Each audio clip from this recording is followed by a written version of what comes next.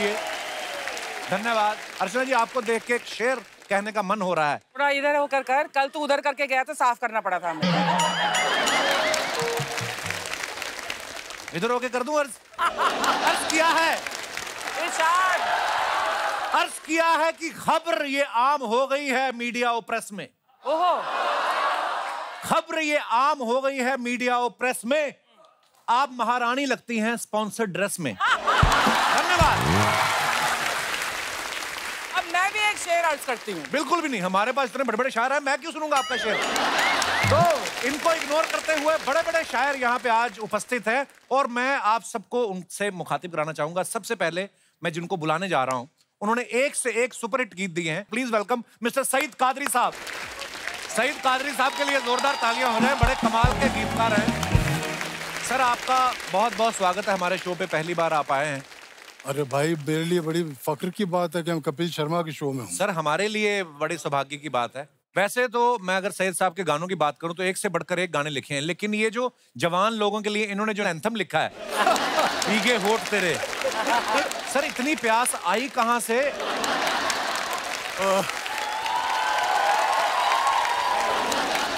ये गाना जब आप लिख रहे थे उस दिन आपको डिहाइड्रेशन थी या मल्लिका को देख के होठ सूख गए थे आपके? क्या मैं राजस्थान का रहने वाला हूँ ना। अच्छा जी। इसलिए बहुत प्यास है अच्छा जी। तो भीगे होंठ तेरे की जगह भीगे ऊँट तेरे भी लिख सकते थे आप। अच्छा आप अगर ध्यान से सईद साहब को देखो ना तो आपको लगेगा नहीं कि इनके अंदर इतना रोमांस भरा पड़ा है। ऐसा लगता है ये मैथ पढ़ाते होंगे वो भी उर्दू में। तो सर ये गाने लिखते वक्त आप हीरोइन को दिमाग में रखते हैं या जो पहले के अफेयर रहे हैं उनको दिमाग में रख के आप की शायरी निकलती है? वो क्या है सर एक एक मेरी दो लाइन का शेर है जी। कि बर्बाद करके मुझको वो आबाद कर गए। वाह। बर्बाद करके मुझको वो आबाद कर गए दो चार इश्क थे जो ये एहसान कर गए। क्या बात है बहुत खूब सही साहब आइए बहुत बहुत स्वागत है। तो दोस्तों ये सिलसिला भी रुकने नहीं वाला है। अब बुलाते हैं आज के दूसरे मेहमान को जिन्होंने गाने बड़े कमाल कमाल के लिखे हैं। दिल है कि मानता नहीं। आओगे जब तुम साजना। थोड़ा सा प्यार हुआ है थोड़ा है बाकी। कोई फरियाद? ऑल टाइम फेवरेट तेरे मस्त मस्त दो नैन। जैसे बड़े सारे सुपरहिट गाने लिखे हैं आप सबकी जोरदार तालियों के बीच। Please welcome mister Faiz Anwar बड़ा अच्छा लग रहा है आपको देख के। इतने सालों से आपके गाने सुनते आ रहे हैं। मैं दर्शकों को बता दूँ कि 1989 से लेके अब तक काम कर रहे हैं फैज साहब और इतना कमाल का काम कर रहे हैं। आपको पता है जब आपने नया नया इंडस्ट्री में आए थे 1989 में। मैं आठ साल का था उस समय। जी। मैंने तभी सोच लिया था कि एक दिन मैं बड़ा होकर एक शो बनाऊँगा। उस समय मैं फैज साहब को इनवाइट करूँगा। आप सबको ये बात बताना चाहता हूँ कि सईद कादरी साहब और फैज अनवर साहब इन दोनों ने महेश भट्ट साहब के लिए बहुत सारे गाने लिखे हैं। तो सर महेश भट्ट साहब नए लोगों को ज़्यादा चांस देते हैं या नए लोग सस्ते पड़ते हैं? मतलब इसके पीछे रीजन क्या है? भट्ट साहब बहुत काबिल शख्सियत हैं। बिल्कुल। आशिकी फ़िल्म बन रही थी इसका लास्ट गाना रह गया था। अच्छा जी। वो गाने के बोल थे आओ के प्यार हम करें। अच्छा जी। ये पहली लाइन थी। धुन पूरी तैयार थी पर भट्ट साहब को पसंद नहीं आ रहा। तो नदीम भाई ने बोला कि एक बार ट्राई करते हैं फैज को। भट्ट साहब बोले हाँ यार उसको ट्राई करो उसमें फायर है समझ में आ जाएगा। वो धुन मुझे सुनाई गई। बारिश का मौसम था तो अचानक मुझे एक वॉकमैन दे दिया बोले ये मियाँ धुन है तुम्हारा इम्तिहान है। चलो इसमें कुछ करके बताओ। मैं ऊपर चला गया छत पे मैं चालीस मिनट में नीचे उतर के आया। और गाना पूरा था दिल है के मानता नहीं मुश्किल बड़ी है रस्म मोहब्बत ये जानता अच्छा। वाह अच्छा ये पहले आशिकी के लिए बनाया था आपने? आशिकी का गाना बाद में याद दिल है कि मानता नहीं टाइटल सॉन्ग हो गया। वाह सर बड़े किस्से सुन के मज़ा आ रहा है। आइए आइए फैज साहब। अब बुलाते हैं एक और कमाल के गीतकार और शायर को जिनके सुपरहिट गीत हैं खली बली आयत घूमर तेरा ज़िक्र। Please welcome A M Turaz साहब। तुराज साहब बहुत बहुत स्वागत है आपका। जोरदार ताले हो जाए तुराज साहब के लिए। तुराज साहब के बारे में हम क्या बताएँ? ये गीतकार भी हैं, शायर भी हैं। उन्होंने संजय लीला बंसाली के साथ काफ़ी फ़िल्मों के गीत लिखे हैं। मैंने ये मेंशन इसलिए किया क्योंकि संजय जी खुद बड़े क्रिएटिव हैं और बड़ा टाइम भी लेते हैं, बड़ा डिटेलिंग में घुसते हैं। आपको नहीं लगता अगर आपने भी महेश भट्ट साहब के साथ गाने लिखे होते तो आपकी लाइब्रेरी में डेढ़ दो सौ गाने और होते, क्योंकि वो टाइम बड़ा ले लेते। हैं जी, बिल्कुल बिल्कुल सही कहा आपने। एक फ़िल्म एक साल तक चलती है लगभग तो फिर दूसरा काम करने का टाइम ही नहीं रहता। इतना मतलब बिज़ी हो जाते बाल भी नहीं कटवाने का आदमी के पास। बहुत व्यस्त रखते हो नहीं नहीं मेरे बालों के लिए कपिल भाई मैं एक शेर पढ़ूँगा कि बहुत- बहुत आपके शो के लिए शेर कि ये क्या जगह है यहाँ गम खुशी में ढलते हैं तुम्हारे जिस्म में कैसे चिराग जलते हैं? और शेर ये कि तुराज शेर सुनाने में सादगी लाओ तुम्हारे जुल्फ झटकने से लोग जलते हैं। क्या बात है क्या बात है। वाह। थैंक यू थैंक ये आपको पता है तो रास्ता जब आप आए ना तो ये हमारा दिनेश नहीं जो गिटार पे बैठा है। जी। ये तो आपका पीछा कर रहा था मेन गेट से। उनको लगा कोई मोहतरमा आ रही है। पर मैंने सुना है कि कोई ऐसा गल्फ कंट्री में किसी में आप गए थे जी, जी, कोई कभी- किस्सा हुआ था? मैं एक जगह मुशायरा पढ़ रहा था तो हॉल ऐसे भरा हुआ था और बालकनी में भी काफ़ी लोग थे। तो मैं पढ़ रहा था वो पाँच छह लोगों का ग्रुप था तो उसमें एक साहब झूल गए बालकनी की वॉल पे। बोले फिर से पढ़ दीजिए कमाल कर दिया ये कर दिया। तो मैं बड़ा खुश हुआ। मैंने कहा कि बहुत बहुत शुक्रिया आपने मेरे शेर की रिपीट वैल्यू कर दी तो बहुत शुक्रिया। कौन सा शेर पढ़ दूँ? कहने लगे शेर कोई भी पढ़ दीजिए खाली बाल झटक दीजिए। मैंने बोला यार आप यहाँ बाल देखने आए वाह वाह क्या बात है। आइए सर बहुत बहुत स्वागत है सर आइए। अब हम जिनको आमंत्रित करने जा रहे हैं उन्हें बुलाने से पहले आपको उनके गाने बता दूँ कि बड़े पार्टी सॉन्ग। शबीर भाई आपका बहुत बहुत स्वागत है। जोरदार ताली हो जाए शबीर भाई के लिए। शबीर भाई ने वैसे तो सैकड़ों गाने लिखे हैं लेकिन ज़्यादातर गाने इन्होंने सलमान खान साहब के लिए लिखे हैं। तो आप उनके चहेते हैं या आपने उनके मोबाइल से बाकी शायरों के नंबर डिलीट कर दिए हैं? आइए आइए शबीर भाई बहुत बहुत स्वागत है आपका। अब मैं दो ऐसे लोगों को बुला रहा हूँ जो बड़ी बड़ी महफिल लूट लेते हैं। आ, डाकू नहीं है वो। लूट लेने से मेरा मतलब ये है कि माने हुए शायर हैं लोगों की वाह वाहवाही लूटते हैं। Please welcome mister Maishar Afridi और अजहर इकबाल साहब।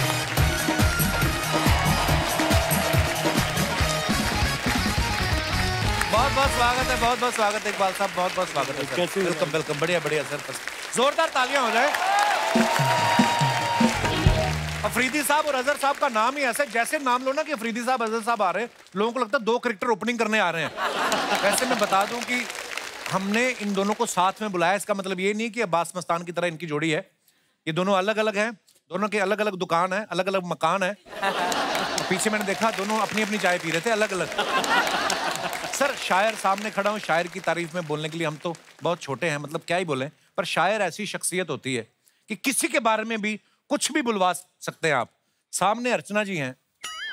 अच्छा। इनकी तारीफ़ में अगर दो शब्द आपको कहने हो। अर्चना बाजी के लिए ये कुछ चार मिसरे। अर्चना पाजी बोला आपने? क्या बोला? बाजी बाजी। अच्छा अर्चना बाजी। बाजी मतलब? बाजी। बड़ी बहन। बड़ी बहन। हाँ। लो जी।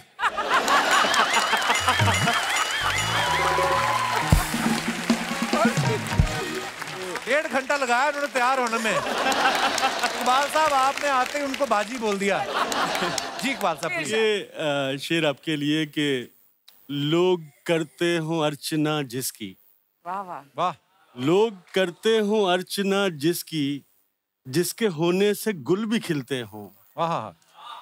लोग करते हो अर्चना जिसकी जिसके होने से गुल भी खिलते हो अब के महबूब ऐसा ढूंढेंगे जिसको हंसने के पैसे मिलते हो।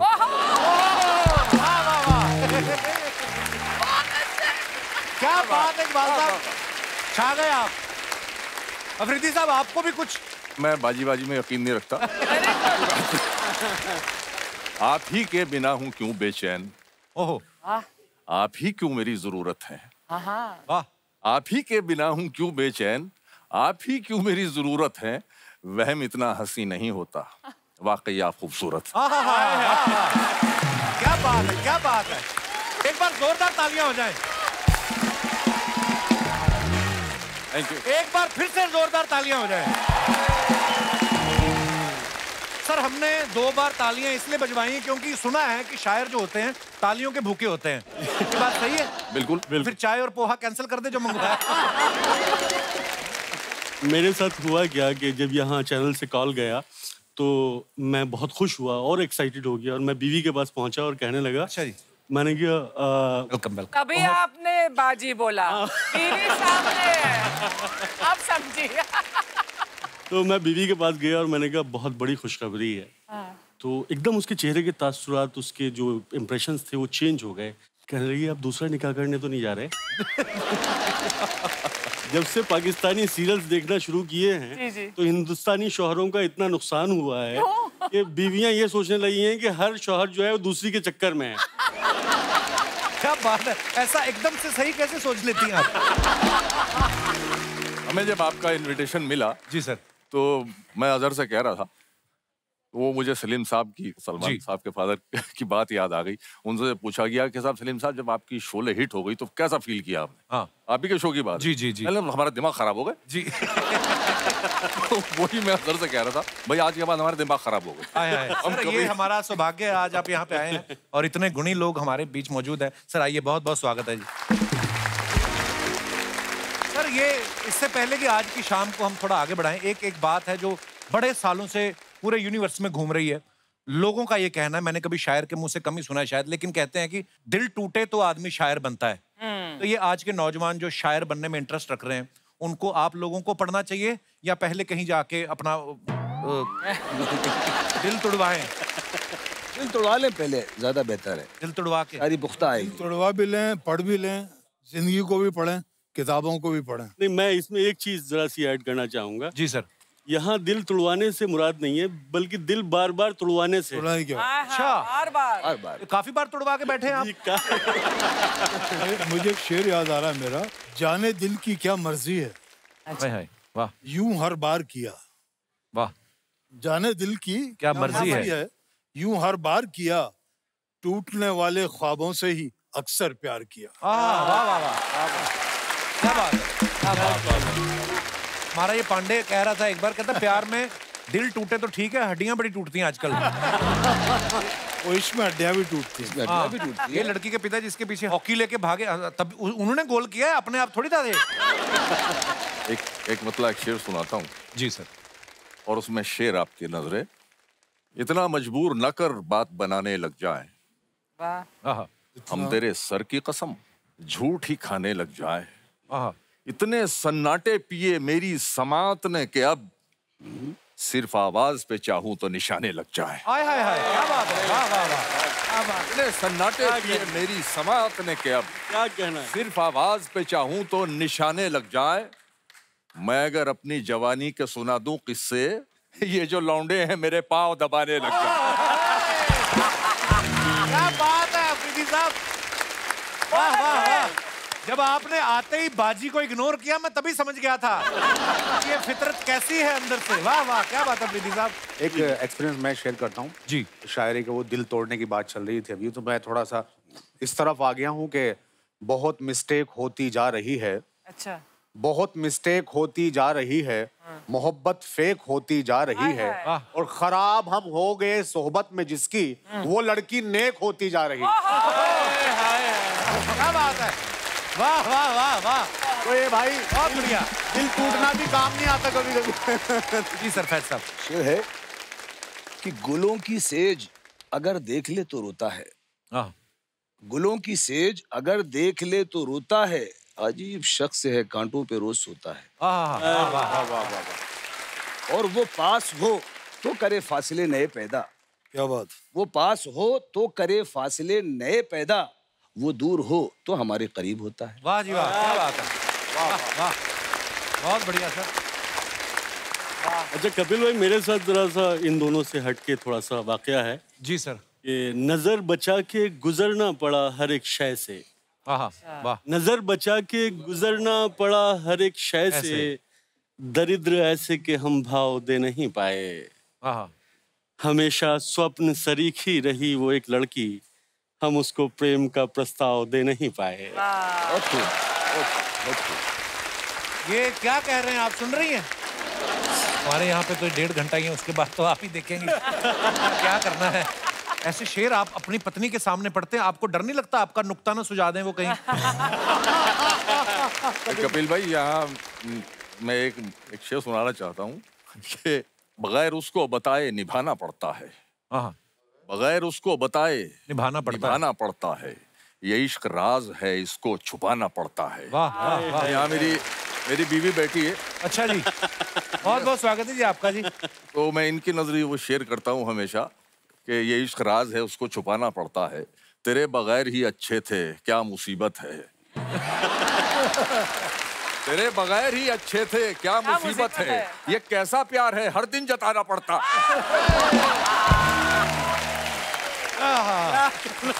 वाह वाह वाह।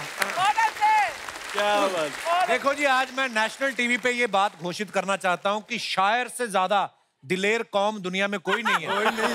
अपनी पत्नी के सामने आप हाले दिल बया कर रहे हैं जनाब। वाह वाह वाह कहने कपिल भाई? वाह, वाह।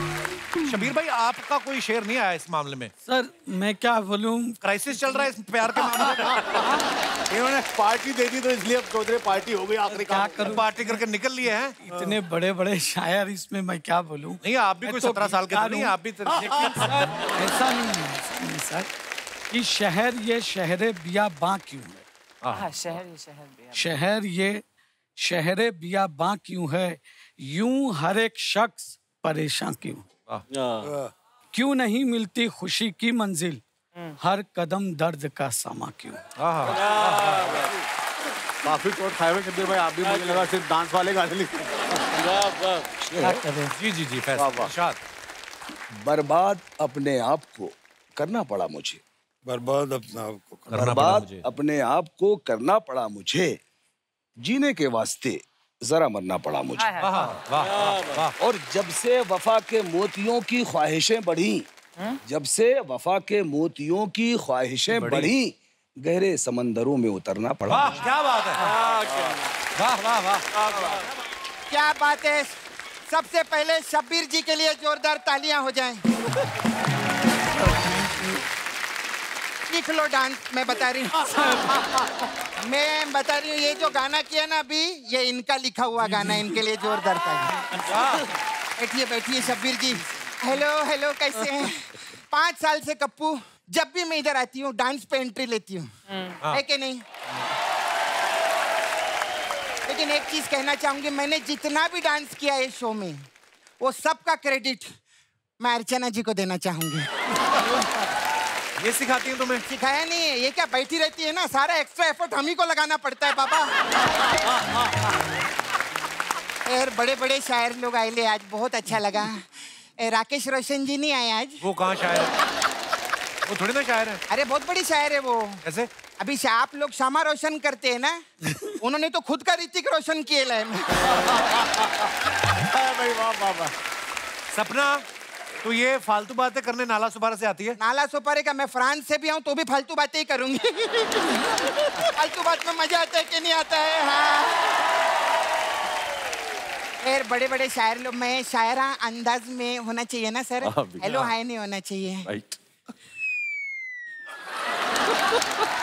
सर सपना नाला सुपारिया की तरफ़ से आपको आदाब। जनाब क्या लेंगे? चाय या काफिया? काफिया आपने, मैंने आप लोग के लिए बनाई थी मैं। हाय। अरे वाह, शायरों के राहुल रॉय आए हुए हैं, बहुत अच्छा।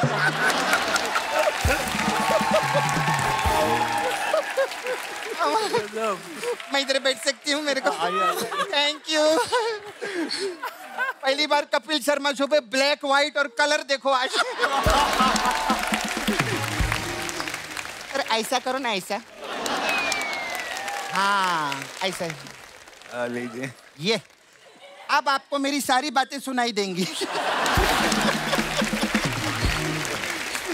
अर्चना जी आप एक बार बाल खोलो. नहीं. आप बाल खोलेंगे ना हम तीनों एक जैसे लगेंगे.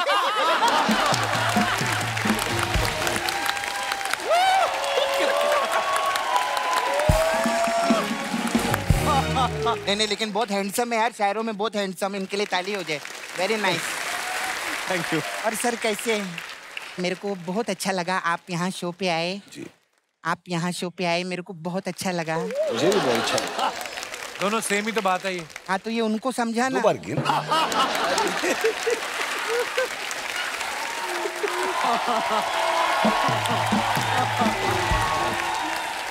मैं बताती हूँ सर ने खुद लिखा है तेरे मस्त मस्त दो नैन मेरे दिल का ले गए चैन।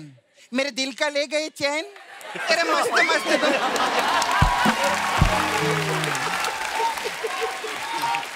खैर लेकिन हम लोग बहुत परेशान हैं। हम लोग सर इधर नाला सोपारा में रहते हैं हम लोग बहुत उधर टेंशन है। मतलब किसी के घर पे पानी है तो बर्तन नहीं है। किसी के घर पे बर्तन है तो पानी नहीं है। इसके पास बर्तन और पानी है उसका घर ही नहीं है। तो ये सब बातें इनको क्यों बता रही है तू? नहीं नहीं ये लोग मुखड़ा सुनाते हैं ना मैं इनको दुखड़ा सुना रही हूँ। वेरी गुड लेकिन मैं सच्ची बोलती हूँ सर मेरे जो चाचा जी हैं ना सर उनकी शादी आप लोगों की वजह से हुई थी। कैसे? अभी आप लोग स्टेज पे जाके वो क्या मांगते हैं तवज्जो मांगते हैं ना? हाँ। हाँ वो स्टेज पर जाके उन्होंने रज्जो मांग ली थी। आज यूपी से लोग आए हैं उत्तराखंड से आए हैं राजस्थान से आए हैं। अर्चना जी आज तो आप बहुत खुश होंगी ना? क्यों? क्योंकि आज पंजाब से कोई शायर नहीं आया।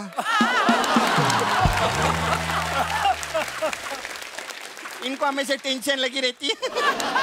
अमृतसर से कोई भी फ़्लाइट उड़ती ना बॉम्बे के लिए फ़ोन करके पूछती हो बैठे तो नहीं है कहीं? लेकिन आप लोग बहुत अच्छा लिखते हैं सर। बहुत अच्छा। सच्ची में बता रहे आप तो सर मेरे को जावेद साहब की याद आ गई आपको देख के। अजहर भाई ना? जी। उदास की हो गई? ये कौन सा असली है? दिल दुखा दिया ये देखिए नहीं मेरे को नहीं। क्या सर?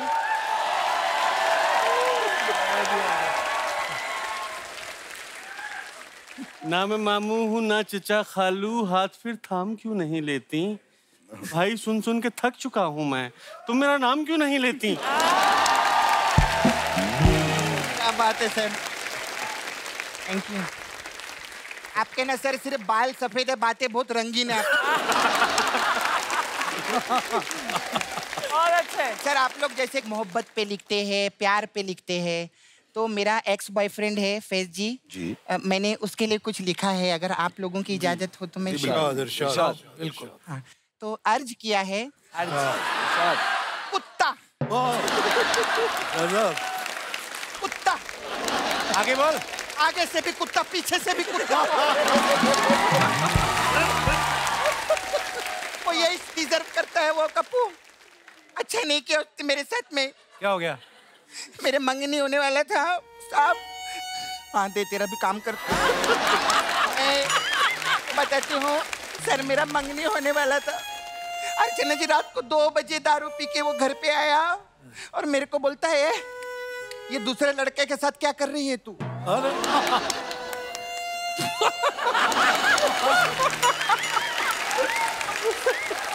एक नंबर का धोखेबाज नहीं है सर? बिल्कुल धोखेबाज है। एक तो मैं अपने दूसरे बॉयफ्रेंड के साथ हूँ। अगर उसने भी पी होती लफड़ा नहीं हो जाता घर के अंदर।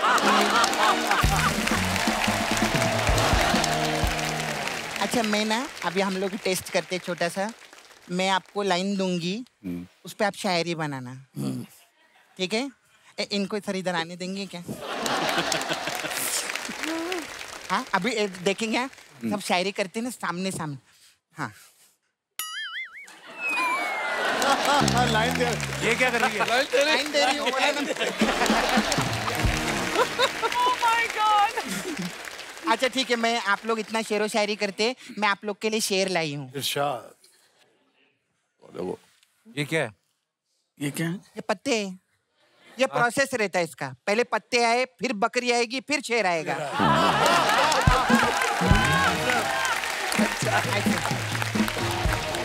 शेर बकरी को खाता है हाँ। बकरी पत्ते को खाती है और पत्ता घर खा जाता है। पत्ते घर कैसे खा सकते वो वाला पत्ता। कपड़ा तू करने क्या आई है यार यहाँ पे। क्या करने है? मैं मेरा ना मसाज पार्लर है सर। मैं नाला सोपारा में रहती हूँ। मैं एक्चुअली आप लोगों को बुक करने के लिए आई थी। आ- आप मेरे को नाला सोपारा में दो दिन के लिए लगेंगे। क्यों? सर हमारे उधर डेंगू बहुत फैला हुआ है। तो आपका शो कराना चाहते हैं। कि आपके शो में बड़ी तादाद में लोग आते हैं? फिर आप शायरी बोलेंगे लोग ऐसे ताली बजाते तो क्या? डेंगू का मच्छर मर जाएगा ना। मच्छरों को मारने के लिए मुशायरा करा रही तू। वो छिड़काव कराओ ना दवाई का। नहीं नहीं हमारे जो मन में आएगा हम वो करेंगे। तेरा क्यों तो नहीं हम? खैर लेकिन मेरा पार्लर है उधर आना सर। आप हमारे पास अलग अलग टाइप का मसाज है।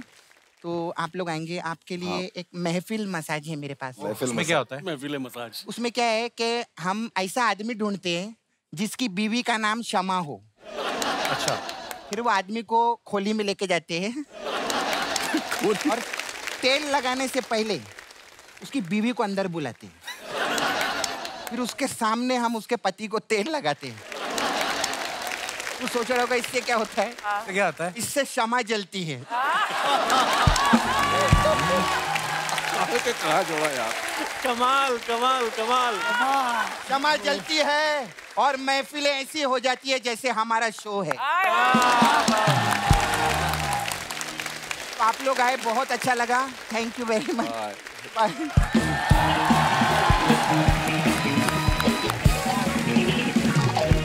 Kapil भाई एक शेर आपके लिए याद आ रहा है। जी सर। आप इतना वर्सटाइल पर्सनालिटी है माशाल्लाह। इतना टैलेंट खुदा ने आपको शुक्रिया, दिया है। मेरा एक शेर है कि मुझको मेरे वजूद की हद तक न जानिए आहा। मुझको मेरे वजूद की हद तक न जानिए बेहद हूँ बेहिसाब हूँ बेइंतहा हूँ मैं। हाय हाय हाय। वाह वाह वाह। वाह क्या बात है। शुक्रिया शुक्रिया बहुत ही कमाल। सुभान अल्लाह सुभान अल्लाह। हमारी अधूरी कहानी के गाने बड़े कमाल के थे। सईद साहब ने उनके गाने लिखे हैं। सईद साहब जब उन्होंने आपको अप्रोच किया कि आपको हमारी अधूरी कहानी के लिए लिखना है तो आपने उनसे कहा नहीं पहले कहानी पूरी कर लो।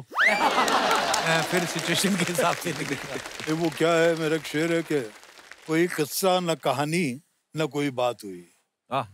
दरमिया उसके मेरे यूँ भी मुलाकात हुई। हाय हाय हाय। क्या बात है सर क्या कहना है? तो बस वैसे ही उन्होंने कहा कि एक्चुअली भट्ट साहब की बड़ी इनायत रही मुझ पर वही मुझे जोधपुर से फ़िल्मों तक लाए और मेरी पहली फ़िल्म थी जिसम जी। जिसका बहुत मकबूल हुआ गाना आवारापन बन बड़ा ही खूबसूरत गाना है सर। तो वो एक्चुअली वो ग- मेरी ज़िंदगी का अपना एक हिस्सा है।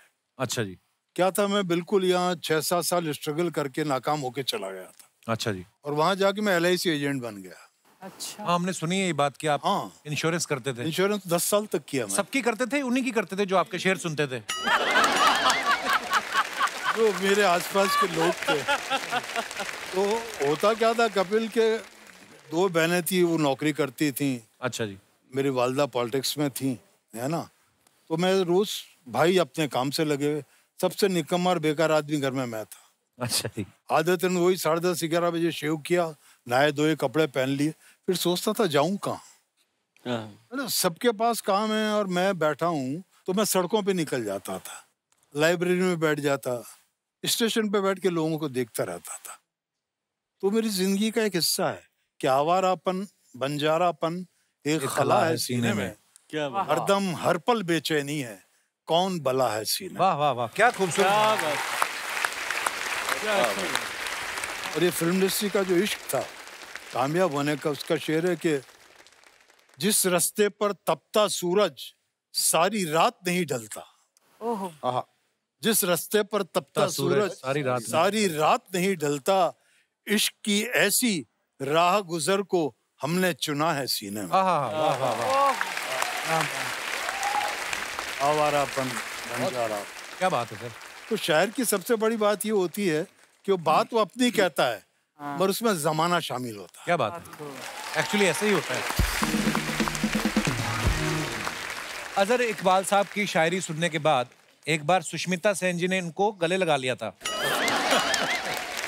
नहीं, शर्मा क्यों रहे? हुआ तो था ही ना ये।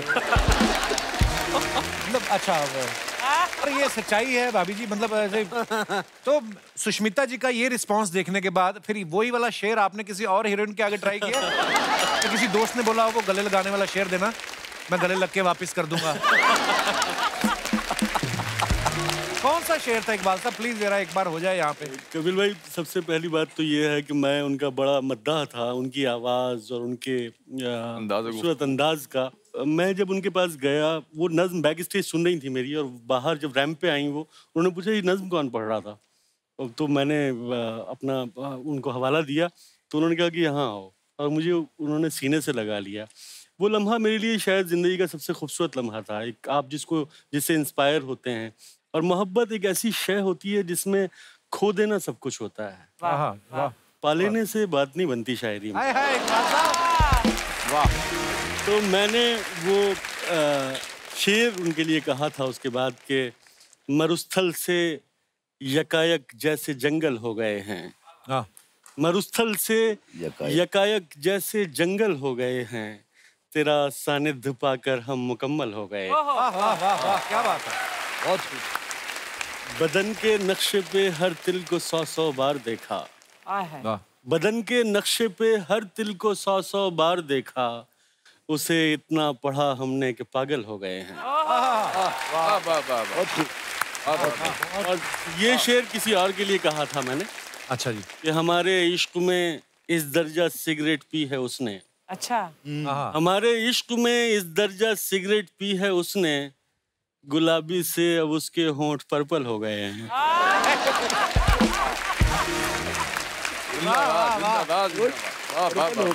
क्या तंबाकू नोशी वाला शेर कहा है? बहुत बढ़िया।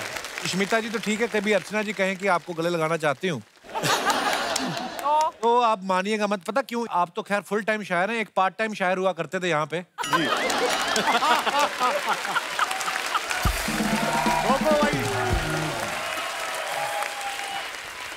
अब ख्वाबों में है, ख्यालों में है, टीवी पे नहीं है बस। आप खा गई है उसको।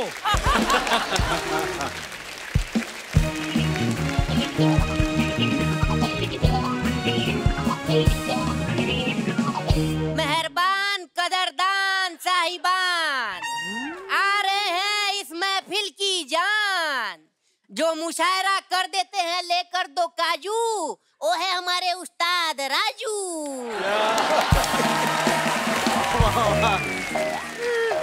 गजब। उस्ताद जी पाँव लागू। ये कौन है उस्ताद जी? आपके मेहंदी वाली नाली में गिर गए थे? अगर पाँव छूने हैं तो कम वक्त तो पूरा झुको। ऊपर ऊपर से इधर है हमारे पाँव। नीचे झुको पूरा। नहीं उस्ताद जी पूरा झुकते तो आप पर्स निकाल लेते हैं। आए हुए मोजिज मेहमानों को। राजू अमृतसरी का आधा आदाब आदाब आदाब। ना आपने अमृतसरी कुलचा सुना होगा सर। जी जी। ये अमृतसर का दबा कुचला है। आपके लिए कुछ अर्ज़ करना चाहूँगा। जी इरशाद इरशाद। मोहन मोहन। ये क्या है? उस्ताद जी उसने अपना नाम बोला मैंने अपना नाम बोल दिया। इरशाद का मतलब होता है परमिशन परमिशन परमिशन परमिशन हाँ जी तो अर्ज़ किया है मेरी धड़कन पे सिर्फ़ तेरा ही नाम होगा। भाई वाह। वाह वाह मेरी मेरी मेरी मेरी धड़कन पे सिर्फ़ तेरा ही नाम होगा। मेरे सीने पे आके तू कान लगा। बकवास बंद कर चौराहे पे जाके नान लगा। चल। बहुत हो गया तेरा ड्रामा आगे दो बंदे लेकर बकवास करी जा रहा है। इतने मुअज्जिज मेहमान बैठे बड़े बड़े शायर। क्या सुना रहा है ये तू? ढंग का कुछ सुनाओ कुछ है तो। अर्ज़ किया है। इतने हटे कटे चेले पीटते क्यों नहीं उस्ताद को? तो तुम लोग चलो तुमसे कुछ नहीं होगा बातें सुनने खड़े हो यहाँ पर। निकलो यहाँ से। ये है जी मेरा कॉलेज टाइम का दोस्त है राजू है। क्या बन के घूम रहा तू आज? मैं यहाँ पर अपने उस टैलेंट को लेके आया हूँ जो मैंने सालों से अंदर छिपा के रखा था। क्यों निकाला तूने ये टैलेंट बाहर? अर्ज़ किया है। कर दो। ये बहुत देर से हो नहीं रहा है तो मुझे लगा भी ये हो ही जाएगा चेक करके देख क्या बता हो ही गया हो। इरशाद। टैलेंट को कोई कितना भी दबा ले वो ऊपर आएगा। सर इसको दस दस रुपए दो ये तभी जाएगा। ये नहीं जाएगा ऐसे।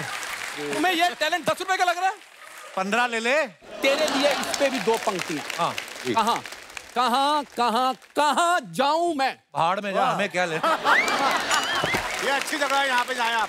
कहा जाऊँ मैं जहाँ तेरी याद मुझे ना जकड़े? हज़ार रुपया मैं कैश दूँगा जो आके इसका गला पकड़े। एक्चुअली मैं आपको बताना चाहता हूँ जो हमारे पूर्वज थे जैसे हमारे दादाजी थे जी जी। उनको ना मुशायरों में क्षमा रोशन करने के लिए बुलाया जाता था। क्योंकि उस समय ना सर मोमबत्तियों के स्टैंड नहीं होते थे इसके दादाजी मुँह में मोमबत्ती डाल के खड़े होते थे। इसलिए ये बोल रहा है खानदानी शायर है ये। मैं सच बता रहा हूँ सर मैं जब नया नया शायर बना था ना मैं भट्ट साहब से मिलने गया था तो भट्ट साहब को मैंने दो पंक्तियाँ सुनाई उन्होंने मुझे गले से लगा लिया था। और पूरी बात बता गले से लगा पीछे लड़के कहते इसके पैर पकड़ो। लिटा लिटा के मारा मर्डर का आइडिया वहीं से आया था उनको। सर एक छोटा सा जी जी। बीच में मत बोलना मुझे अर्ज़ करने दे पूरा। मैं पहले बोल देता हूँ। गेट आउट बिल्कुल नहीं अर्ज़ करना तुमने। नहीं नहीं मैं करूँगा। सर बड़ी अच्छी एक नज्म है छोटी सी। अदा कर नब्ज थमसी गई है धड़कने चल रही हैं। आहिस्ता आहिस्ता। तू मरने वाला है। तेरी शुगर लो हुई है तू चेक करा जाके मैं बता रहा हूँ। ये शेर नहीं पढ़ रहा है हाल बता रहा है अपना। मैं ना अभी एक एक शायरी जो मैंने अपनी प्रेमिका के लिए लिखी है। तो उसको सुना जाके उनको क्यों सुना रहा है? वो सुनती नहीं है।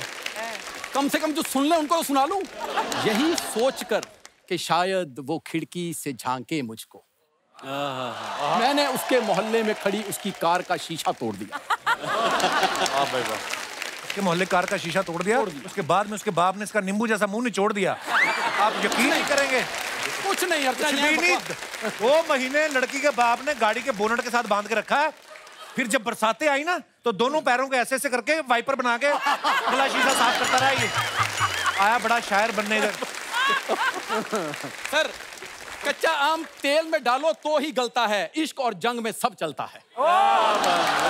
ये बात सही है भाई वाह इतना बेशर्म आदमी है ना सर मैं क्या बताऊँ आपको? एक बार एक मुशायरे में गया किसी ने सम्मानित किया इसको शॉल दिया।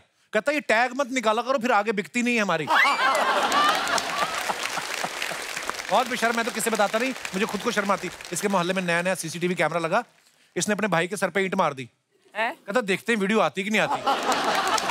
अच्छा इनके घर में ना इन्होंने पहली बार जब डोर बेल लगवाई तो अंदर वाली साइड लगवा ली। कहते पैसे हमने खर्च किए बाहर वाला क्यों बजाए? तो ठीक बात है। कोण का कोण है? अरे वाह वाह क्या बात है? यार तू तो जा यार तू क्यों आज महफिल खराब करने आया हमारी। महफिल खराब नहीं कर रहा हूँ मैं महफिल ठीक कर रहा हूँ। ऐसा तो युगांडा की लोमड़ी लग रही है।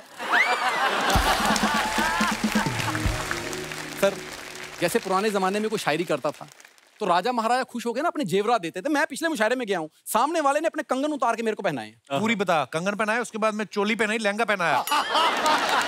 फिर उन्होंने इसका घूंघट निकाला आप यकीन नहीं करेंगे फिर दिल है कि मानतारी में ढाई घंटे नाचा ये झूठ सरासर झूठ। भीगे होंठ तेरे पे था। आधा घंटा नाचा हूँ अगर दाढ़ी ना निकलती लोगों को लग रहा था मल्लिका शरावत नाच वाह वाह वाह। अबिल भाई एक बार राजू अमृतसरी ना अपने उस्ताद के पास पहुँचे और कहने लगे मैंने एक शेर कहा है। उस्ताद ने कहा सुनाओ। इन्होंने शेर सुनाया कम से कम दो दिल तो होते इश्क में। हाँ। एक रखते एक खोते इश्क में। उस्ताद कहने जरा सा चेंज कर लो। इन्होंने कहा सुनाओ कि कम से कम सौ दिल तो होते इश्क में रफ्ता रफ्ता सबको खोते इश्क में। क्या बात है। अब ये दूसरे उस्ताद के पास पहुँचे। इन, इन्होंने वही शेर सुनाया जो उस्ताद ने चेंज करके दिया था। कम से कम सौ दिल तो होते इश्क में रफ्ता रफ्ता सबको खोते इश्क में। उस्ताद बोले ये शेर तेरा नहीं हो सकता। राजू भाई बोले क्यों? कहता तेरी दो दिल से ज़्यादा की औकात नहीं है। इसका हर जगह यही हाल है। आप यकीन नहीं करेंगे सर जी ये लड़की देखने गया तो मास्क पहन के चला गया। जी। लड़की वाले कहते हैं बेटा मास्क उतार दो कोरोना चला गया है। कहता मास्क उतार दिया आप भी चले जाएँगे फिर। ये हालत है इसकी। मैं मज़ाक नहीं कर रहा ये ये लड़की देखने गया तो काम वाली आई वो कहती उठना जरा झाड़ू मारना है। कहता नीचे साफ़ तो है। कहती नहीं आपके मुँह पे मारना है। मैं यार करता यार तुम्हें देख के एक शेर याद आ रहा है। करो सर। आज तो महफिल यही है। है इनके आप लिए। महान है आपको शेर मुझे तो कोड़े याद आते हैं पता है इसको देख के। जी। हर अंधेरा रोशनी में लग गया। अरे अंधेरा रोशनी में लग गया। जिसको देखो शायरी में लग गया। हर अंधेरा रोशनी में लग गया जिसको देखो शायरी में लग गया। अपना मैखाना बना सकते थे हम। अपना मैखाना बना सकते थे हम। इतना पैसा मैकशी में लग गया। वाह वाह वाह। वाह वाह वाह। क्या बात है क्या कहना अभी अभी आमद हुई है। हाँ। जी। कहता इश्क तेरा। कौन कहता? राजू अमृतसरी। हाँ। इश्क तेरा इंस्टा की स्टोरी जैसा। और मुँह तेरा कूड़े की बोरी जैसा।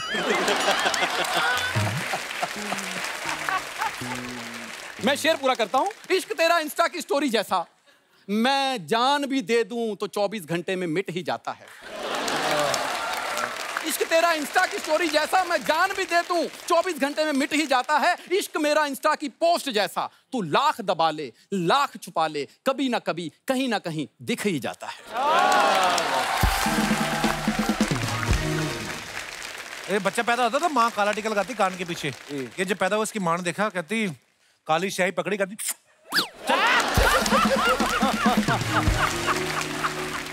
सर मैं शायरी आपको बाहर सुनाऊँगा। राजू भाई आज ना ये जैसे वो होते हैं श्रम दिवस और खुशी दिवस नारी दिवस जी। आज ऐसे ही बेजती दिवस है। इनका दिवस नहीं होता इनका साल होता है जी।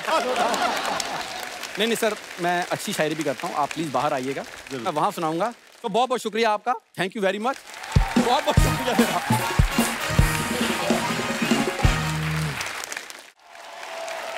अच्छा अफरीदी साहब को अगर आप गौर से देखें ना शायर तो बड़े कमाल के हैं ही।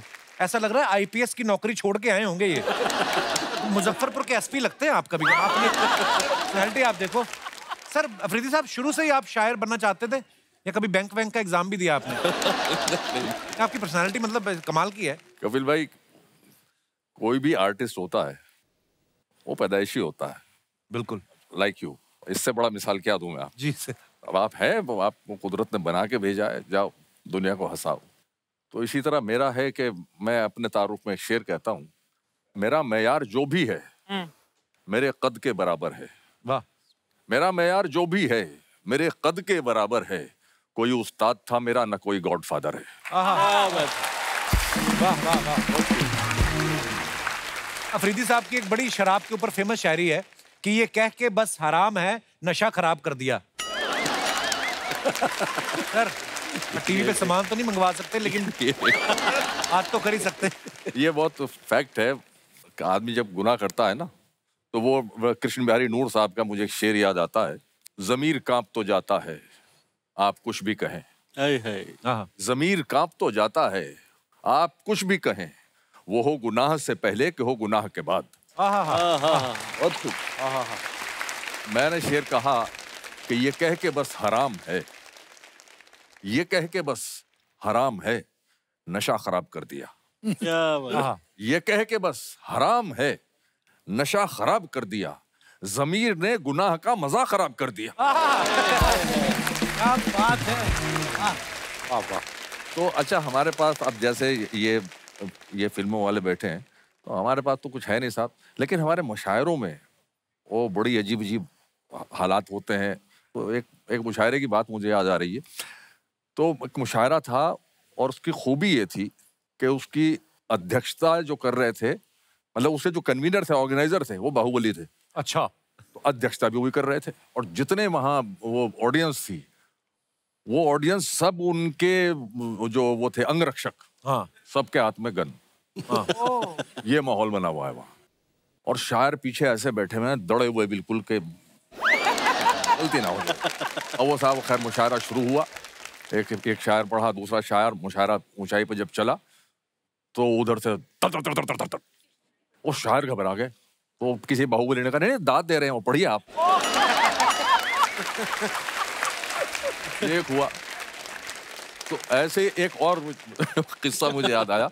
एक मुशायरा इंटीरियर प्रतापगढ़। प्रतापगढ़ खुद इंटीरियर और उसका भी इंटीरियर था एक। अच्छा जी। तो हमें बुलाया गया। साहब वहाँ पहुँच जाइएगा आप वहाँ से आपको गाड़ी ले लेगी। हम वहाँ पहुँच गए बंदा खड़ा मिला। सलामकुम तशरीफ़ लाइए मना गाड़ी ये रही एक बाइक खड़ी है वहाँ पे। सूटकेस हमारे हाथ में। ओह माय गॉड बाइक पे बैठ गए। अब बाइक पे जो बैठे दोनों फुटरेस्ट गायब उसके। फुटरेस्ट भी नहीं और सूटकेस हमारे हाथ में। कैसे और वो शायद पहले कहीं शायद मौत के कुएँ में चलाता होगा बाइक। उसने जिस स्पीड से गाड़ी चलाई है उस ऊपर से तुर्रा ये कि वहाँ सड़क नहीं थी। उफ मैंने कहा भाई थोड़ा आहिस्ता चला लो। साहब देर हो जाएगी। मैंने कहा फिर कोई शॉर्टकट देख लो। जी हो सकता है। उसने फ़ौरन एक खेत में उतार दी मोटरसाइकिल इस तरह करके खैर वो बहुत देर बाद एक सड़क सी नज़र आई एक बस्ती नज़र आई। उसने जाके एक नर्सिंग होम था ऊपर उसने वहाँ जाके बाइक रोकी। आइए। मैंने कहा शायद का कोई मरीज़ यहाँ भर्ती होगा उसकी अयादत को जा रहा है। हाँ। मैं भी सूटकेस लेके ऊपर वहाँ बेड पड़े हुए हैं। बोतलें लगी हुई हैं ग्लूकोज की। अच्छा। ये आपका है। ये आपका बेड है। इस पे आराम फरमाइए आप। इतने वहाँ देखा दो तीन शायर और पड़े चादर उड़े अरे मैशर साहब आइए आइए। मैंने कहा भाई कोई मैंने कहा कोई होटल वोटल? नहीं साहब होटल वोटल कुछ नहीं है। ये तो डॉक्टर साहब ने स्पॉन्सर किया है हमें। ये भी होता है। रात को कोई आके आपको खून चढ़ा जाता? राज साहब शराबी यूनियन की तरफ़ से एक ऑल इंडिया शराबी यूनियन है। जी। उसके चेयरमैन जो हैं वो अर्चना जी के कज़न नहीं हैं। वो कभी नहीं होगा। उनकी तरफ़ से एक फरमाइश है कि शराब के ऊपर आपने बड़ा खूबसूरत एक गज़ल लिखी है। देखिए मैं वैसे शराब पीता नहीं हूँ तो मैं जरा मैं यकीन है आप पे। हूँ। जी। अ, मैं दूसरा कुछ सुना देता हूँ। शेर है कि मेरी तकलीफ़ मेरा गम मेरा सदमा पता चलता। मेरी तकलीफ़ मेरा गम मेरा सदमा पता चलता। कोई तेरा बिछड़ता तो तुझे मेरा पता चलता। है कोई तेरा बिछड़ता तो तुझे मेरा पता चलता। और अगर हम साथ में मरते तो फिर ये ऐन मुमकिन था। तुझे मेरा पता चलता मुझे तेरा पता हाय चलता एक एक वाक्य पहले तो मैं आपको सलाम करना चाहूँगा। वैसे तो हर शख्स अपनी माँ से बेपनाह मोहब्बत करता है लेकिन मैंने दो लोगों को अपनी ज़िंदगी में ऐसा देखा है। एक तो संजय लीला भंसाली जी जो अपनी माँ से बेपनाह मोहब्बत करते हैं और उनकी माँ अक्सर उनके साथ होती है। और एक आप हैं आपकी माँ अक्सर आपके साथ होती है। शुक्रिया। माता जी मैं आपको प्रणाम करता हूँ कि आपने इतना महान कलाकार पैदा किया क्योंकि इतना महान कलाकार ही इतने कलाकार इतने कलाकारों को झेल सकता है। आपको सलाम करता हूँ। शुक्रिया शुक्रिया तराज भाई शुक्रिया। और कपिल साहब जो हँसते हैं और हंसाते हैं इसके पीछे एक बहुत लंबी स्क्रिप्ट है यूँ कह लीजिए जो ऊपर वाले ने लिखी और वो यहाँ तक पहुँचे। इसमें हँसी भी है और गम भी है खुशी भी है। सब चीज़ इसी में है कि एक शेर में और सुनाऊँगा कि खुशी हमदम अगर होती मुझे रोने को क्या होता?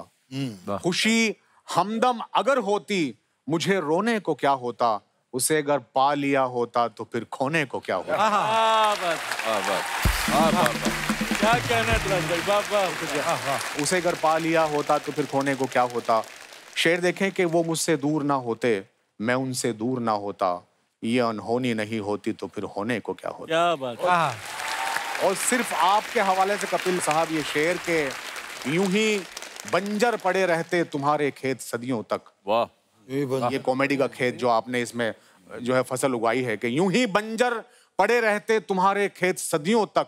मैं मिट्टी में नहीं मिलता तो फिर बोने को क्या क्या बात वाह वाह अब एक वाक्य है मुशायरे का बहुत खूबसूरत सा जो मेरे साथ हुआ। मैं एक मुशायरा पढ़ने बाहर जा रहा था किसी अ, किसी मुल्क में तो एक बुज़ुर्ग शायर मेरे साथ जो थे वो फंस गए मुझे पता चला एयरपोर्ट पे कि ये पहली बार जो है वो सफ़र कर रहे हैं प्लेन में। अच्छा। तो मुझे लगा ये तो जो है अच्छा खासा सामान है सफ़र काटने का तो इसमें कुछ मज़ा लेंगे।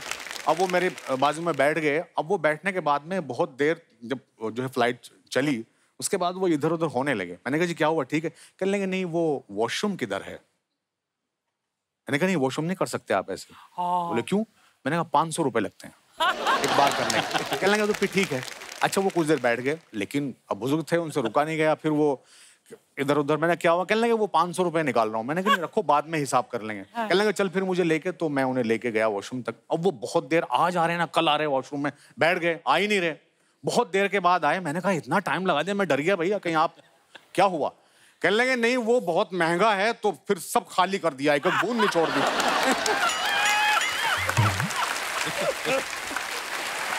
अरे बाप रे वो वाक्य मैं भूल नहीं सकता वो। इसलिए इतना टाइम लगा हुआ एक बार हम सफ़र कर रहे थे सागर खयामी साहब। सागर खयामी हमारी उर्दू के और उनके बाद मिज़ा ख़त्म ही हो गई समझिए। अच्छा जी। इतने बड़े शायर थे वो। पहले उनके चार मिसरे सुनाता हूँ मैं तो आप लगाएँगे अंदाज़ा कि ये बोला दिल्ली के कुत्ते से गाँव का कुत्ता। अदा ये सीखी कहाँ तुमने दुम दबाने की? अच्छा। वो बोला दुम के दबाने को बुजदिली न समझ। जगह कहाँ है यहाँ दुम तलक हिलाने? तो ये थे सागर खयामी। वो हम और वो एक साथ हमने दो चार मुशायरों के साथ पढ़े हैं। तो वो सफ़र कर रहे थे। तो वो ट्रेन में बहुत देर से चाय नहीं आई थी उसमें पेंट्री नहीं थी। तो इतफाक से कहीं से चाय वाला चढ़ गया। बोले बेटा चाय दे के जाओ। और वो चाय तकरीबन ऐसी थी जैसी आपने पिलाई है। तो चाय वो वो चाय दे के चला गया आगे।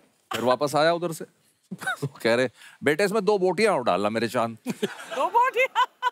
मतलब इस कदर मसाला था उसमें। तो ये चाय बिल्कुल क्या ये अच्छी लगी आपको? नहीं बिल्कुल निश्चित cut cut cut one second पकिया ये हमारे दोस्त हैं मित्र हैं हमारे पूरे पुराने। अपने मुँह पे पूरा मेकअप लगा के आता है ये। तो आप ध्यान से गौर करें ना अगर। तो जो लेडीज़ को यूज़ होता है ना नंबर वो वाला नंबर इसने लगाया हुआ है। लगता है अर्चना बड़ी खूबसूरत दिखती है तो उनका बेस इसने लगाया है। वो कंप्लेंट आ रही कैसे करें?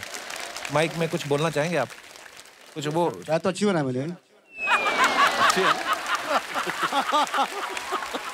नहीं नहीं अच्छी है नहीं नहीं अफरीदी साहब बताइए चाय में क्या कमी थी ताकि आने वाले मेहमान शुक्र है आपने बता दिया नहीं तो हमने कईयों से तो पूछा ही नहीं। क्या अफरीदी साहब चाय में मीठा कम था क्या था? नहीं इसमें मीठा तो ठीक था इसमें कुछ गले में लगने वाली चीज़ें ज़्यादा थी। अदरक। अदरक डाला था? यस हम चाय में सिर्फ़ दूध चीनी पत्ती पसंद करते हैं। ठीक है सर नेक्स्ट टाइम तो तुमको क्या लगता है कुमार शानू है गला ना खराब हो जाए? अकिया तो अदरक मतलब डालना ही नहीं वैसे भी महँगा है। थैंक यू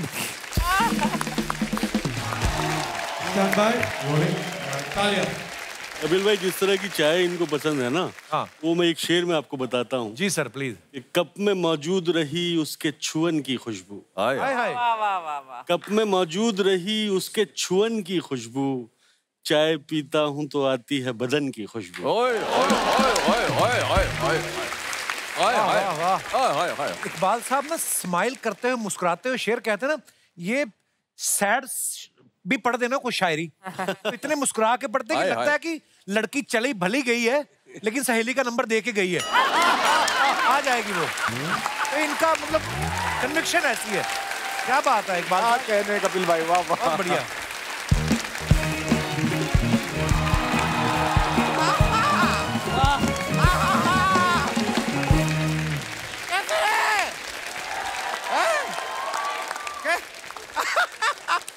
अरे यार क्या बात है क्या बात है क्या बात है। यार शर्मा देख रहे हो? क्या? अचानक जी देख रही है आप? अचानक से मैं आपसे लंबा कैसे हो गया? हाइट देखो मेरी कितनी बड़ी इधर आओ इधर आओ इधर आओ इधर आओ इधर खड़े हो इधर इधर खड़े हो।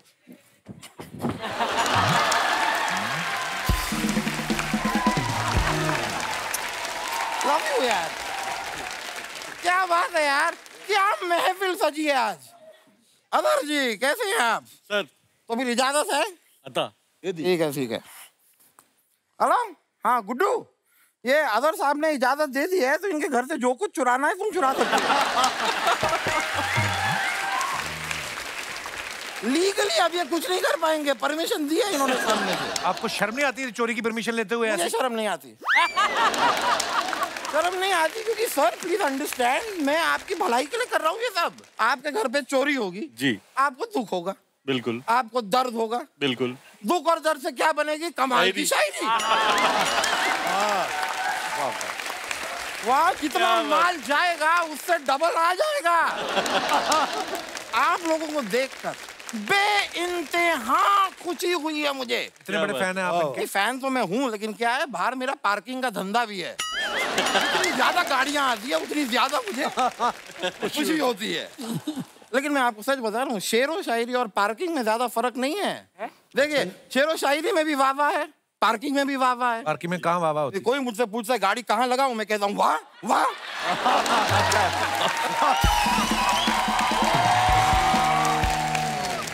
आप लोगों को ना एक सलाह देना चाहूँगा। जी। ये सलाह से ना आप अपने जीवन में कभी भी आपको पैसों की कमी नहीं होगी।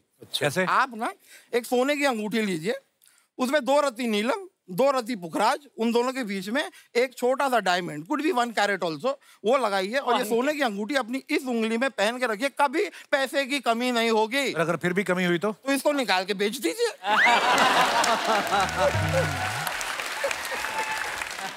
आप इधर यूज़ मी क्यों नहीं लिखवा देते ताकि लोगों को पता चले कूड़ा फेंकना कहाँ है? यूज़ मी तो मैं नहीं लिखवाऊँगा। लेकिन आपकी बातों से बचने के लिए एक्सक्यूज मी मैं ज़रूर लिखवाऊँगा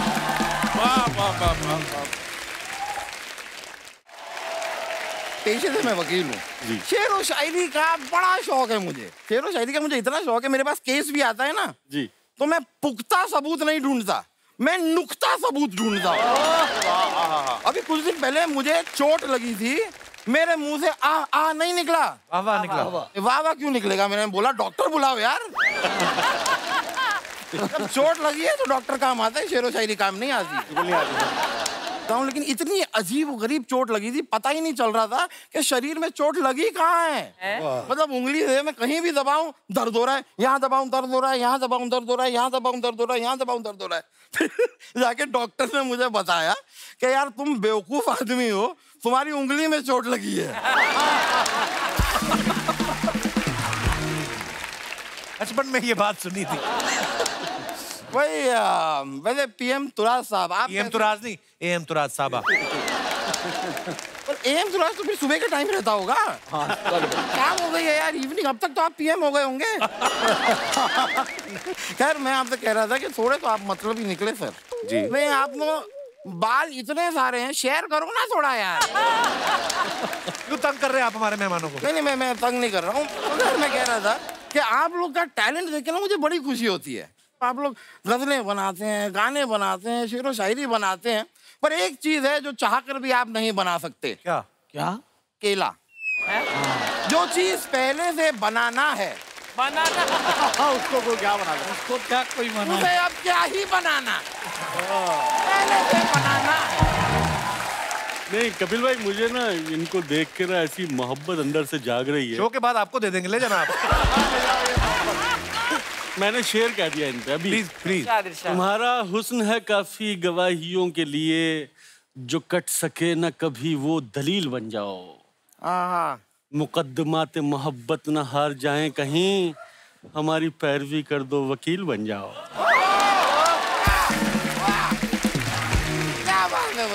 बहुत बहुत शुक्रिया आपका। क्या बात है यार। कमाल का शेर सुना है।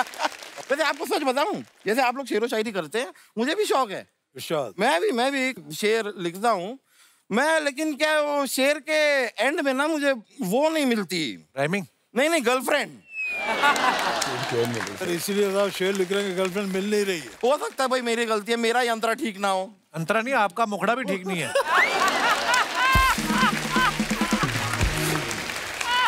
मैं आपसे एक और हेल्प चाहिए थी मुझे सर एक ना अपना लूडो का केस आया है तो उसके लिए मुझे चाहिए कि आप कोर्ट में आके एक बयान क्यों वो क्यों बयान दें? नहीं क्या लूडो के लिए गाना दे सकते हैं एक बयान नहीं दे सकते क्या? और देखिए केस भी इतना कोई पेचीदा नहीं है। दो लड़के क्या लूडो खेल रहे थे। जी। तो एक ने बोटी मार दी। बोटी नहीं गोटी। नहीं नहीं वो लड़का बोटी खा रहा था। अच्छा दी तो उसने बोटी मार दी। और दी। क्यों मार दी? क्योंकि सामने वाले ने उसकी गोटी मार दी। अब अचानक से वहाँ पे माँ आई माँ ने रोटी मार दी। अब माँ ने ये जो रोटी मार दी वो थोड़ी सी मोटी मार दी। अरे वाह अब गलती क्या हुई माँ से कि माँ ने रोटी उसको मार दी जिसने बोटी मार दी। अब उसने बोटी मार दी है तो बोटी उसके पास है नहीं। अगर बोटी उसके पास होती तो रोटी के साथ वो बोटी खा सकता था। माँ को रोटी उसको मारनी चाहिए थी जिसने गोटी मार दी। क्योंकि जिसने गोटी मारी उसके बाद ही तो सामने वाले ने बोटी मार दी। अब आपके पास बोटी भी है रोटी भी है तो आप बोटी के साथ रोटी खा सकते हैं। अब उसके पास ना बोटी है ना रोटी आप कैसे खाएगा बोटी? यहाँ बोटी बोटी बोटी बोटी टोटी लगा रखा आपने। एक बात माननी पड़ेगी। शर्मा आपके जो मेहमान है ना हाँ। बहुत अच्छे हैं बहुत प्यारे हैं बहुत ही सलीकेदार हैं। क्योंकि ये बात जब मैंने जज साहब को सुनाई थी यहाँ तक पहुँचते पहुँचते चार चांटे वो मुझे मार चुके थे। आपने बड़े सभ्यता से और प्यार से मेरी इन बातों को सुना है। आई एम बहुत बहुत शुक्रगुजार। जाते जाते मुझसे मिलिएगा मैं आप लोगों को तकिया देना चाहूँगा। क्या क्यों? नहीं क्योंकि सब लोग कंबल देते हैं यार शॉल देते हैं कोई तकिया ही नहीं दे रहा है। ए, शर्मा एक बात पूछनी थी यार आपसे। जी, वकील साहब। चलते हुए इंटरव्यू में से उठ के ऐसे पीछे भाग के गए हैं क्या आप? नहीं जाता नहीं नहीं जाते नहीं है ना? मैं खाली कंफर्म करना चाह रहा था कि जब मैं ये बादाम लेके भागूँगा आप मेरे पीछे आएँगे कि नहीं?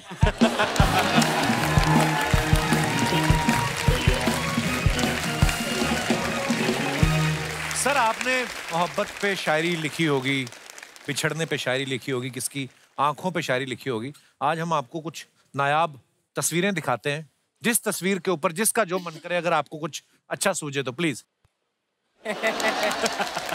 ये तस्वीर एक आदमी जा रहा है और दो औरतें जी जी जी। मेरा एक शेर के शरीयत दिल ये नहीं है कि किनारा कर लो। इश्क दो बार भी होता है दोबारा कर लो। मेरे को तो आ रहा कि हाथ बढ़ाए कोई तो उससे हाथ कर लो। दोनों इश्क एक साथ कर लो। बिल्कुल। चल सजनी अपने घर लौटे। चल सजनी अपने घर लौटे। यहाँ दिल भी छोटे यहाँ घर भी छोटे। हाय हाय। क्या बात है। बहुत खूब बहुत खूब। और भी है हमारे पास पिक्चर्स और दिखाइए।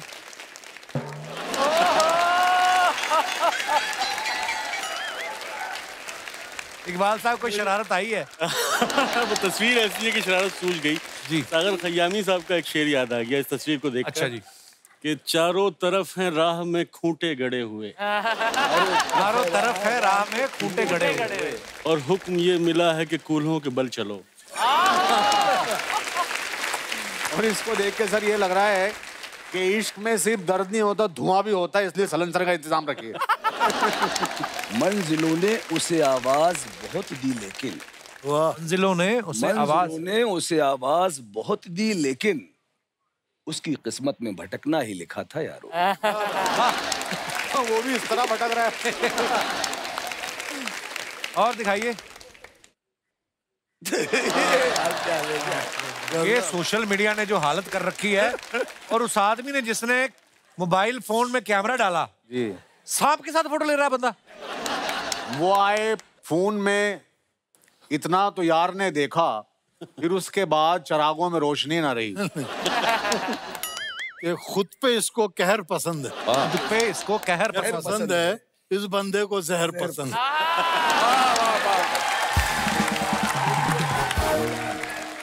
और दिखाइए। तो आपका ये ट्रेन को हाथ दे रही है मोहतरमा देखो आप। ये मोहतरमा आपकी मोहतरमा सुना देता हूँ कि मोहतरमा अपनी धुन में मोहतरमा अपनी धुन में खोई है इस कदर। ये रेल है या कार कुछ होश भी नहीं। और दिखाइए।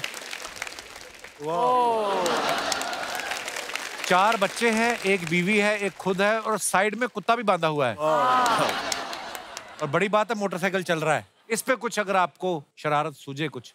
ये तो बड़ा मुश्किल था बच्चे दो ही अच्छे। बस यही। हाँ, इससे अच्छा कुछ नहीं हो सकता भाई। और देख लो बंदे ने चार भी एडजस्ट कर ही लिए इतने तो गाड़ी में नहीं आते। ये मोटरसाइकिल पे जुल्म है सर। लौंडे की अपनी पावर है तू क्या ले? मोटरसाइकिल 100 सीसी का है लौंडा 400 सीसी का है। और दिखाइए। यस अच्छा बंदर पे ले रहे अखबार ने अजीब सा मंजर बना दिया। अखबार ने अजीब सा मंजर बना दिया। इंसान था मैं और मुझे बंदर बना दिया। बंदर बना दिया। वाह वाह वाह वाह। वाह वाह वाह। खत्म हो गई शबीर भाई आपके बारे में सुना है कि आप पहले लिखने से पहले शायद एक्टिंग में इंटरेस्टेड थे। जी जी जी जी। सलमान भाई से पहली बार आपकी मुलाकात कब हुई थी? मेरी सलमान भाई से मुलाकात हुई थी 2000 है उससे एक दो साल। मैं एक्टिंग के लिए आया था कि फ़िल्म देखी थी वो स्वर्ग। तो अच्छा। मेरे अंदर भी कीड़ा उठा एक ना एक्टिंग का। हर आदमी को ख्वाब देखने का हक है ना तो मुझे भी ख्वाब देखने का हक था। मेरी मुलाकात थी साजिद वाजिद भाई के साथ तो साजिद वाजिद भाई ने मेरे को बोले कि चलो चलते हैं। तो फिर मैं गया मिला और सलमान भाई सामने थे और वो चल के आए और मेरा मुखड़ा साजिद भाई वाजिद भाई ने सुनाया। उनको बहुत अच्छा लगा वो मेरे कंधे पे हाथ रखे। तो मैं ऊपर वाले को ऐसे देखा मैं अल्लाह इस बात का गवाह सिर्फ़ तू है। कि इतना बड़ा एक्टर जिससे लोग मिलने के लिए पागल होते और वो कंधे पे हाथ रख के और मेरे से पूछ रहा क्या करते हो मैं बोला भाई एक्टिंग करने आया तो बोले अच्छा है। तो बोले भाई अभी तुम एक्टिंग वैक्टिंग बंद करो। तुम सिर्फ़ गाने लिखो बाद में एक्टिंग का सोचना। तो उसके बाद मैंने शुरू कर दिया। और इसी दौरान सलमान भाई ने मेरे को शाहरुख खान साहब से मिल- मुलाकात कराई बताया कि ये बहुत अच्छा लिख रहा है। तो उसी दौरान शाहरुख खान और करण जौहर की एक फ़िल्म बन रही थी। फ़िल्म का नाम था काल। तो छैया छैया बहुत बड़ा गाना हिट हो चुका था। तो सब लोग ने कहा कि शाहरुख खान और मलाइका जी के लिए एक आइटम सॉन्ग चाहिए। तो बड़े बड़े शायर उसके लिए सब ट्राई कर रहे थे। तो मेरे दोस्त थे सोहम शाह। उन्होंने मुझे मेरी मुलाकात कराई सलीम सुलेमान से और मैंने गाना लिखा बोले जब तक गाना रिलीज़ नहीं होगा जब तक तुम सामने मत आना वरना गाना चेंज कर देंगे। क्योंकि उन्होंने मुझसे ये शर्त लगाई थी कि ये गाना या तो जावेद साहब लिखेंगे या गुलजार साहब क्योंकि छैया छैया बहुत हिट हो चुका था और गाना था तौबा तौबा इश्क में करिया। तो जब तक गाना रिलीज़ नहीं हुआ मैं सामने नहीं गया किसी मैं बोला क्या भरोसा कि कभी चेंज कर दे नया लड़का कोई आया कौन आया किससे है ना? जी। वाह यार। इनमें सबसे बड़ा योगदान रहा साजिद वाजिद भाई का नदीम भाई का जो हमारे बीच बैठे हैं। अशोक भाई जो इतना नए लोगों को सपोर्ट करते तो ये अफकोर्स हमें वाह वाह वाह। एक बार हमारे मेहमानों के लिए जोरदार ताले हो जाएँ दिल खोल के। धन्यवाद। आइए सर आइए प्लीज़ और मेहमानों, एक बार जोरदार तालियाँ हमारी ऑडियंस के लिए। इसी तरह हँसते रहिए, मुस्कुराते रहिए। हर शनिवार, रविवार, सोनी टीवी पे आते रहिए। गुड नाइट शुभरात्रि शबा खैर। Thank you for more update subscribe to our channel click the show links and enjoy watching the videos.